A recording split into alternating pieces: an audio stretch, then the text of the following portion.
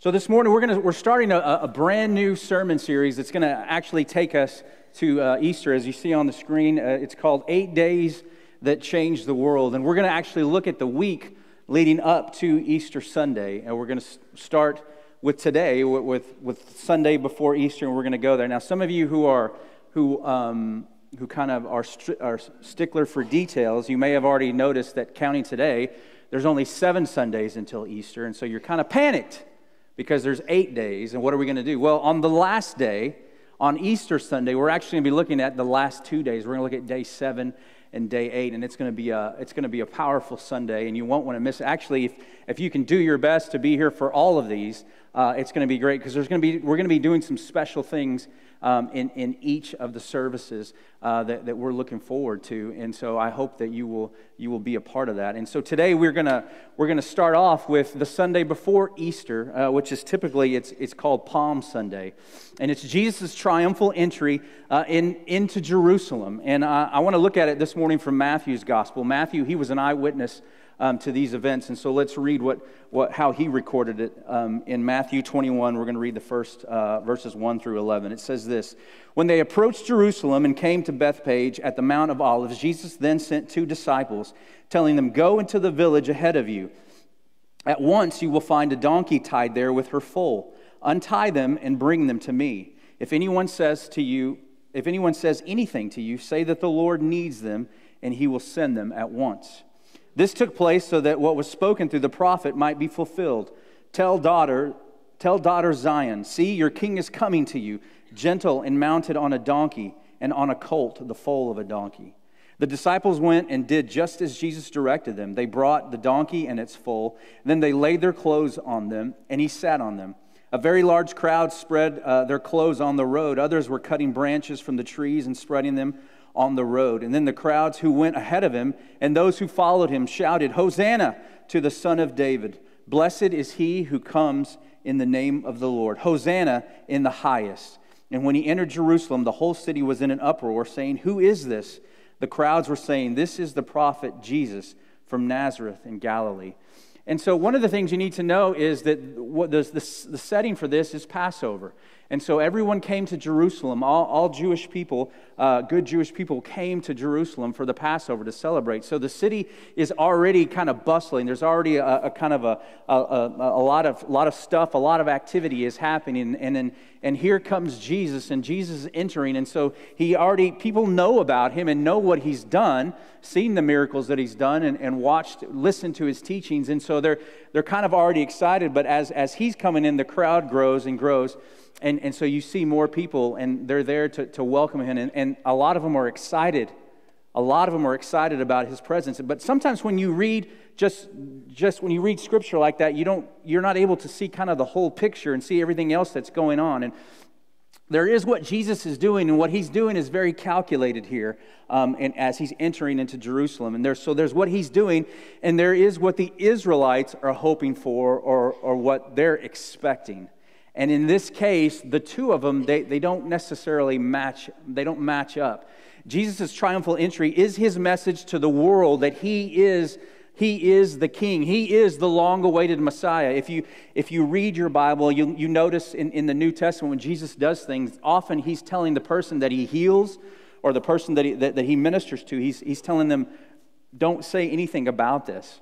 Because what he, in his mind and what Jesus was doing, it wasn't time for him to announce who he was.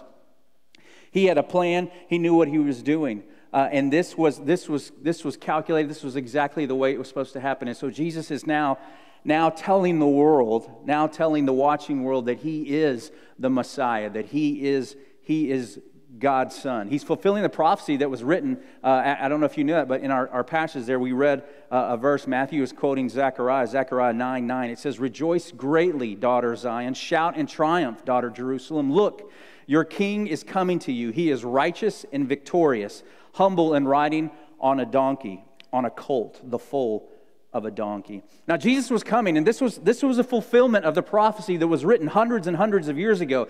The king that they have been hoping for and praying for. The king that was going to finally make everything right.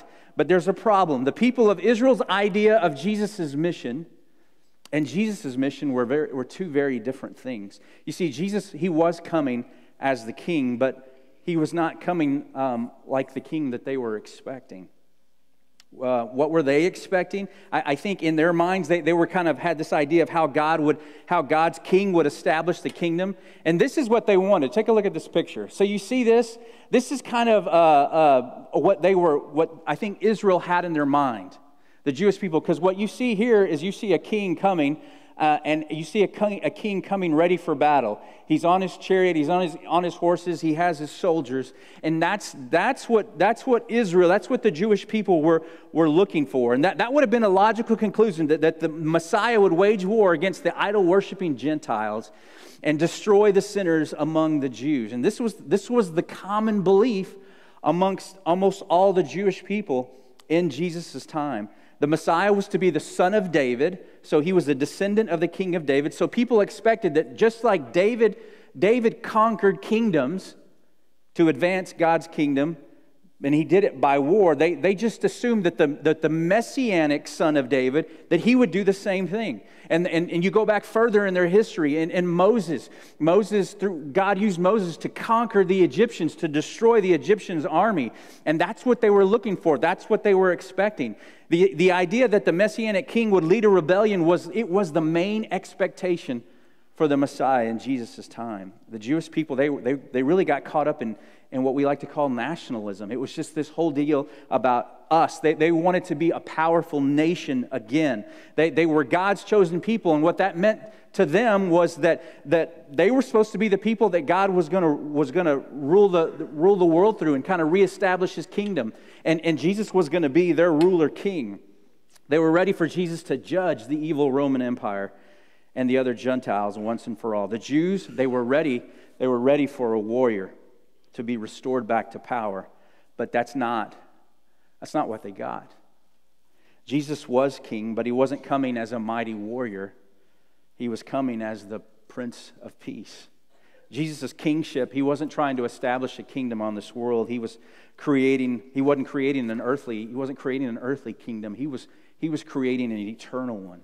They wanted, they wanted a, a, a, political Messiah to save them from their enemies, but Jesus was not only coming to, to save the, the Jewish people, but he was coming to save the world, everyone from their sins, and restore their relationship with God. And Jesus wasn't, he wasn't coming to destroy the evil Gentiles, but what he was doing was coming to offer salvation to all. He wasn't, he wasn't that type of king, but he was, he was this type of king. Watch, check the environment. That's, that's how Jesus came. He was, he was not a, a warrior king, he was the suffering servant. He was, he was the picture of humility. He was coming not to take life, but to give his life as a ransom for many. Jesus didn't come riding on, on horses and chariots, but he came riding on a, on a colt, on a, on a donkey. The donkey was a picture of peace. There were times, and you can go back in Old Testament times, where you see um, leaders who were riding, who would come in riding donkeys. But when they came in riding donkeys, they weren't coming in for battle, but the donkey was, was, a, was a symbol of peace. It was a picture of peace. And if a king was coming for battle, he'd come on a great horse. He'd, he'd come looking more like that. And, and, but a leader who was coming in peace typically came on donkeys. And donkeys in biblical times they, they're, they're, they're often mentioned with, with common people. They're used for agricultural purposes. They're, they're working, working animals. And horses mentioned in the Bible are often associated um, with kings and war. But Jesus came riding in on this, on this, on this foal, this colt. And he was, coming, he was coming to establish his reign as Messiah who would rescue sinners and call all people to follow him. Jesus came, he did come to conquer, but he came to conquer sin through love, through grace and mercy and sacrifice, even his own sacrifice. He came to conquer hearts and minds, not nations. And as one writer put it, he said it was difficult for the people, even those who were close to Jesus, to understand that his ride into Jerusalem um, as the promised Messiah wasn't to ascend to the throne, but it was to go to the cross to give up his life. It's not what the Jewish people wanted, but it was exactly what they needed. Now, we can, we can shake our heads in disappointment at, at the people that we read here. We can kind of stand in judgment of them because we, we could say, well, how, how could you guys have missed it? Why would you think Jesus would be a warrior king? Why would you think Jesus would be this mighty king? You knew he was coming, you knew what he was doing. We could say that, but the truth of the matter is, is we're, we're probably all guilty of, of, the, of the exact same thing. We're, we're all guilty of saying, This is what I want God to be. This is how I got, I want him to be like this, and I want him to be like this, and I want him to be like this. I don't want him to do that. I don't want him to be like that. I, I, I but, and, and definitely not like that. But I, I want it. It's, it's like, have you ever, of you ever been to a, a Subway a sandwich shop or, or maybe even uh, Pie Five? Some of the great, those are two great places to eat. Uh, Subway, okay, but Pie Five especially. Um, I love their pizza there. And what you do, w- w- if you've been there, you know you, you, start at, you start at one end of the line and you just go down the line and you tell them exactly what you want. You say, You want this on your pizza or your sandwich? You want this? Nope, not, not that. Now, they might make some, some suggestions on the menu, like, hey, you might want to try this. But the beauty of those places is, is what you want on your pizza or your sandwich, it's put on there, and what you don't want, it doesn't get on there. It's kind of this whole idea of you, you build your own. And I think that's what we want to do with God sometimes. We want to, we want to, we want to build our own God. We, we, we expect God to, to act a certain way, and usually the way that we want Him to act is in a way that always benefits us, that makes us, makes us the center. We're like the crowd of people that gathered and, and are welcoming Jesus, saying, Hosanna. Except when we're shouting our praises, we're expecting God to be what we want Him to be and for His agenda to match up to our agenda. But if it doesn't, guess what happens? If it doesn't match up, then those people that were shouting Hosanna, as we're going to see in a few weeks later on, they're the same ones that are shouting crucify him. And for us, if things don't go our way, we, we may not be shouting crucify him, but instead, you know what we do? We pick up our faith and our devotion, we pack it up, and we give it to something or someone else who we think will do it our way. We're kind of like a little bit like a little kid. Like, oh, I don't want to play here anymore, God, because you're not doing it by my rules. The game's different, and I don't want to play. So they wanted a warrior. They wanted someone to restore them to greatness. They wanted someone to destroy their enemies and get them back to prominence, to be God, to be the, the chosen people. That's what they wanted and that's what they expected, but that's not, it's not at all what they needed. And what I want to do today is I want us to take a look at some things that we expect God to be, things that, that we want, but aren't necessarily exactly what we need. And this isn't really an exhaustive list. Um, as I list these, you, you can probably think of probably four or five or six, seven, eight more uh, just from your own personal experience. But I want to look at some of just some of the common expectations that we have of God. And then I want to contrast those with, contrast the expectations that we have with the things that we, and when I say we, I'm right in the middle with you, the things that we need. First one is this, is we, we often expect Jesus to be a, a genie in a bottle. You know, you think, uh, think about Aladdin where you rub the lamp and, and the genie comes out and we, we rub the lamp or we rub the Bible or whatever, and, and then all of a sudden we get, we, we get all these wishes. And, and it, sounds, it sounds kind of silly, but that is, that is a popular belief for a lot of people, a lot of Christians who are walking into churches today. God is here to serve me.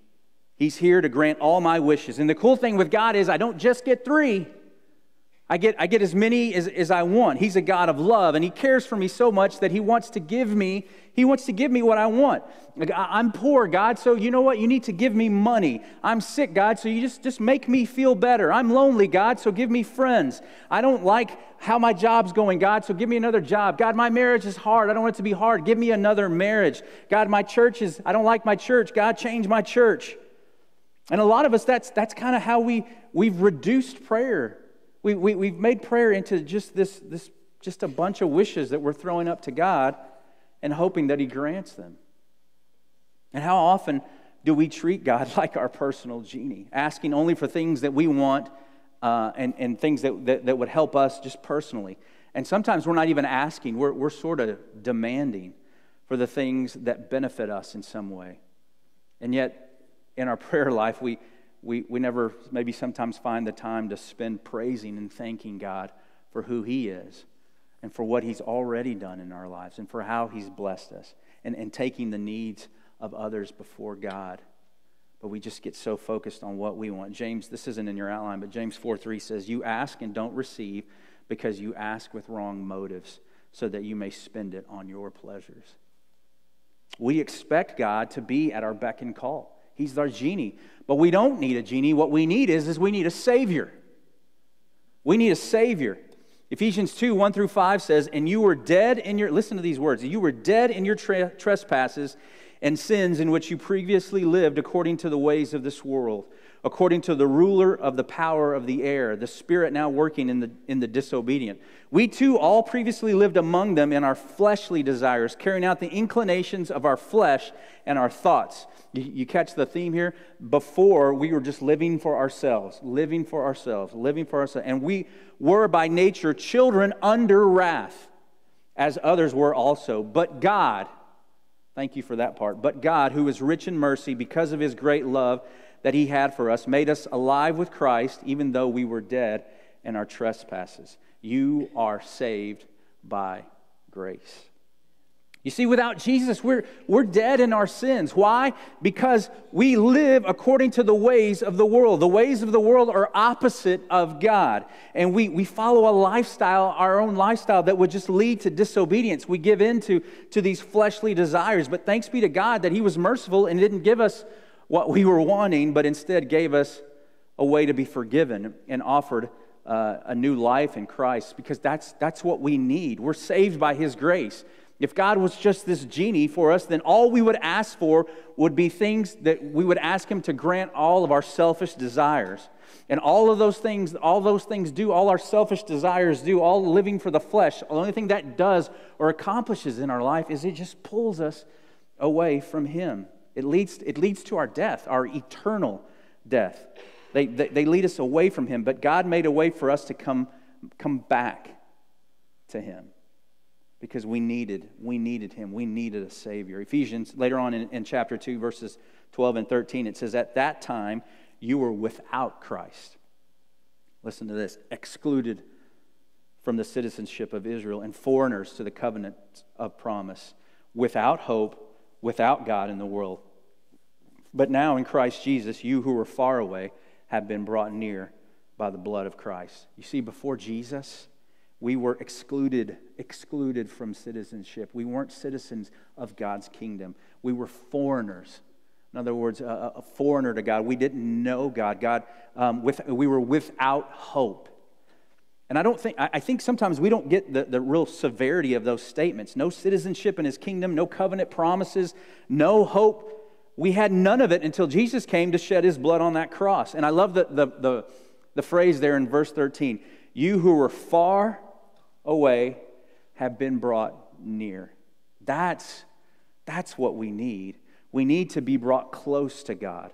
We don't need all of our wishes granted, we need all our sins to be forgiven. Nothing this world has to offer is greater than that love and the sin offering that was given on our behalf when Jesus went to the cross in our place. We want, we want a genie, but we need a Savior. Another thing we expect from, from Jesus is, is we expect him to be our easy button. Do you ever see an easy button uh, like at Staples? It's just a button, red button that just says easy on it. And you just get to tap it and it makes everything easier.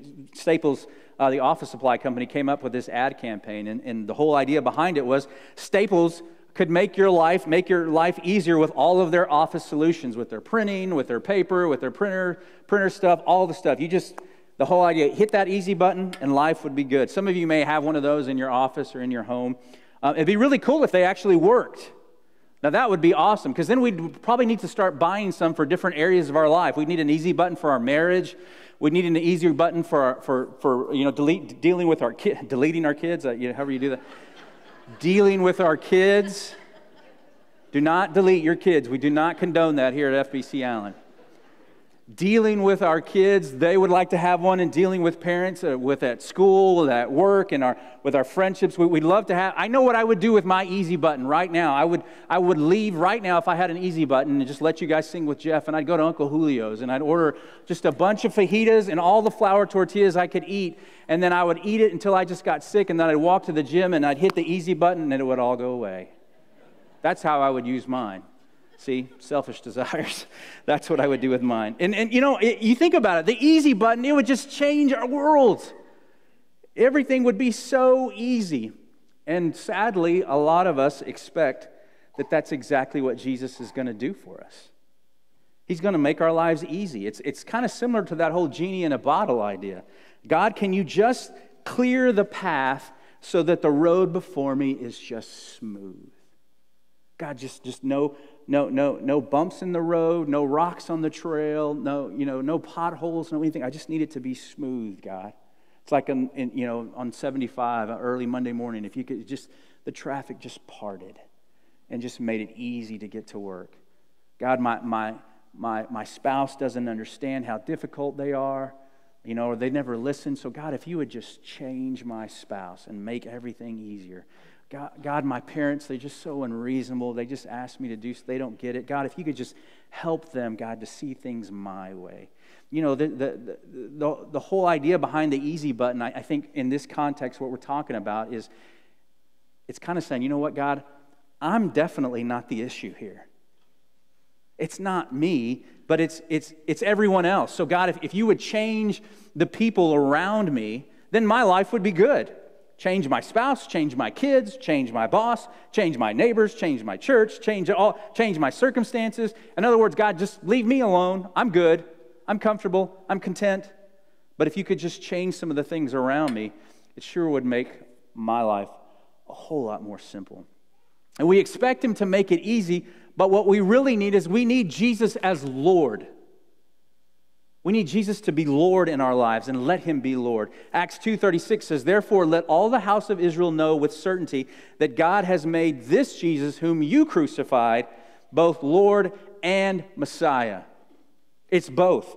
A lot of us like the, the, the, the, we call, you know, my Savior and Lord. A lot of us like that Savior part because we've been rescued from our sins. We've been rescued from an eternity separated from Him.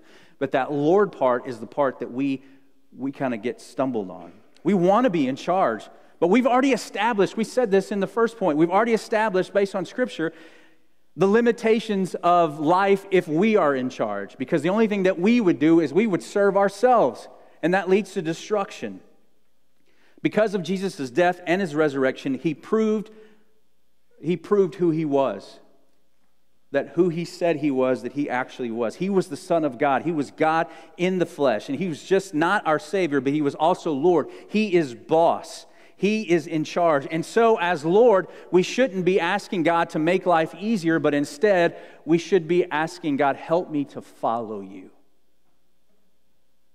The wrong, the wrong thing to ask is God to make my life easy, but the better question is God, help me.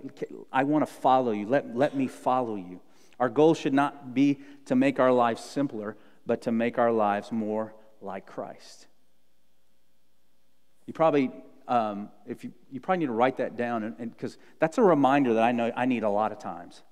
Is the goal of life isn't to make life simpler, but the goal of life is to make us more like Christ. 1 Peter 5, 6 through 10 says, Humble yourselves, therefore, under the mighty hand of God, so that he may exalt you at the proper time casting all your cares on him because he cares about you. Be sober minded. Be alert. Your adversary, the devil, is prowling around like a roaring lion looking for anyone he can devour. Resist. Resist him firm in the faith, knowing that the same kind of sufferings are being experienced by your fellow believers throughout the world. The God of all grace, who called you to his eternal glory in Christ, will himself restore, establish, strengthen, and support you after you've suffered a little while. Putting ourselves in God's rightful place of Lord of our lives is the opposite of humbling ourselves. Now, you, you may not have heard this in a long time, but I want to say it because, again, it's a phrase that I need to hear myself. But it's not about you, and it's not about me. This world's not about you, it's not about me. The devil wants us to think that. Okay, the enemy, he wants to, he wants to act like he's our friend. He wants us to think that. And he is, he's like a, a, a, the verse said, of prowling around like a roaring lion, just looking for anyone that he can devour. Now, notice that word devour. What do you think that word devour means? It's not something that he wants to just nibble on. Not something that he just wants to, wants to play with or toy with for a little while. Nope. It's something that he wants to devour. In other words, he wants to destroy us. That's his only agenda. And he knows that one of the best ways that he can get us and destroy us is to make us think that everything is about us. Because if he can turn us towards ourselves, then he's turning us away from God.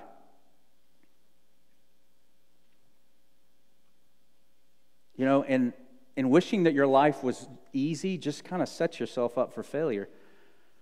Because as many of you can testify, life is not easy. It's not easy. There, it has easy times. There are, there are times that are easy or seasons that are easier than others. And I think we're, I think really kind of what, what if we boil down to it, where we're getting at when we say, God, make my life easy, we're kind of saying, God, could you make it, could you make it that my life is so easy that I really don't even need you? Because his life is easy, then what do I need God for? And watch out for that type of thinking. Get out of the way and let God be Lord. Let him be Lord. And we just, and as we just read in 1 Peter, no matter what you face in life, he will be there to restore you, to strengthen you, to support you. So when life isn't easy, because it's not going to be easy, God's there. Listen to those words to restore you, to strengthen you, to support you. Saying you want to, to be life is, is, is saying to God, take away all, uh, if you say that you want life to be easy, you're, you're kind of saying, God, take away all the things that would actually grow me. Which leads us to, to um, this last expectation that we have is, is what we want is we, we want God in life to just make sense. That's what we expect. God, you, you, we, I need you to make sense. And this is a huge one for a lot of us. Huge one for a lot of people. This is, I think, this is one of the main reasons why so many people walk away from God because He doesn't make sense to them. And the big question that, that is always asked is why?